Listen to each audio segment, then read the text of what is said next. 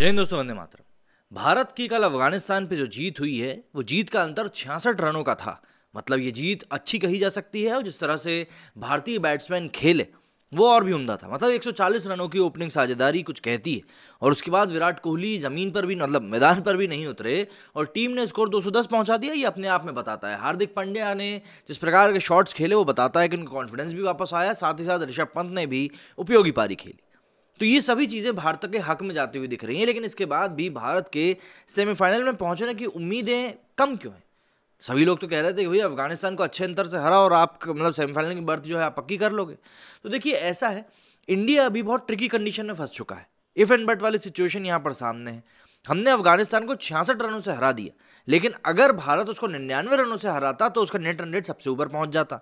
तो net run rate के मामले में वो सेफ़ साइड में पहुँच चुका होता, जो कि वो इस कंडीशन में भी नहीं पहुँचा है।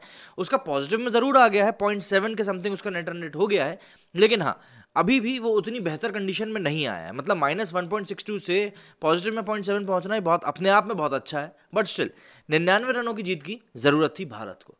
फिर भी भारत ने बहुत अच्छा प्रदर्शन किया, लेकिन अभी भी भारत की जीत मतलब सेमीफाइनल में पहुँचने की जो उम्मीदें हैं, वो कम क्यों हैं?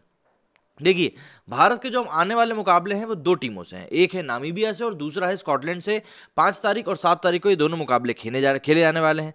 अब इन मुकाबलों की अगर हम बात करें तो भारतीय टीम के सामने सबसे बड़ी जो एक सरदर्द बनी हुई है बात, वो ये है कि इनको अपने नेट रन रेट का काफ़ी ज़्यादा ख्याल रखते हुए ही अब मैच को आगे खेलना होगा, नहीं तो इनको दिक्कत हो सकती है। मतलब अगर हम बात करें तो भारतीय टीम को अपने आगे आने वाले दोनों बचे हुए मुकाबलों को मतलब नामीबिया और नामीबिया और स्कॉटलैंड से जो इनके मैच होने हैं, उनको इनके खिलाफ 80 रनों से ज़्यादा के अंदर से जीत हासिल करनी होगी। मतलब जो अफ़गानिस्तान के खिलाफ निन्यानवे थी, वो अब 80 हो गई है।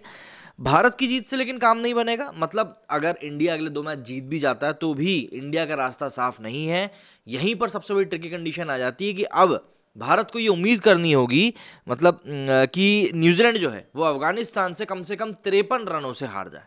मतलब अफ़गानिस्तान के ऊपर अब भारत की सेमीफाइनल की उम्मीदें टिकी हुई हैं। अगर वो ऐसा कर देते हैं तो ऑब्वियस ही बात है, इंडिया का सेमीफाइनल में पहुँचने का जो रास्ता है, वो काफ़ी हद तक साफ़ हो जाएगा। लेकिन अगर ऐसा नहीं होता है तो भारतीय टीम के लिए अभी भी चिंता के बादल मौजूद है। जैसा प्रदर्शन उन्होंने पहले दो मैचों में किया था, उसको देखते हुए वैसे भी ये लग रहा था कि टीम सेमीफाइनल के लिए क्वालिफाई नहीं कर पाएगी। लेकिन कल के मैच में जैसा ये लोग खेले, उसको देखते हुए एक उम्मीद बंधी है कि चलिए ठीक है, हो सकता है कि अभी भी इफ़ एंड बट में से निकलकर भारतीय टीम बाहर आ जाए। क्योंकि भारत में तो देखिए इस टीम की काफ़ी ज़्यादा आलोचना हो रही है, कपिल देव से लेकर सुनील गावस्कर तक, सभी टीम की आलोचना कर रहे हैं। क्योंकि इनका मतलब ऐसा नहीं है कि हमको हार से मतलब है कि यार अब हार गए हो तो हम आपको बुरा भला बोलेंगे, नहीं।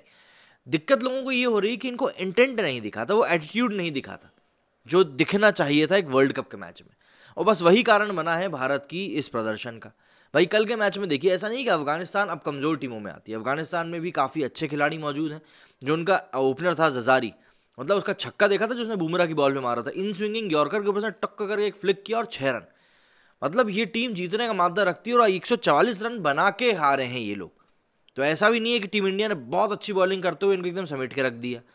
तो ऐसा नहीं कि अफ़गानिस्तान कमज़ोर टीम थी तो अफ़गानिस्तान से जीत गए हम लोग, बहुत अच्छी बात है। लेकिन आने वाले दो मैचों के अलावा अब ये भी उम्मीद करनी होगी कि भाई अफ़गानिस्तान जो है, वो न्यूजीलैंड को हरा दे, तब कुछ बात बनेगी, वरना भारत का सफ़र अभी भी ख़त्म ही है।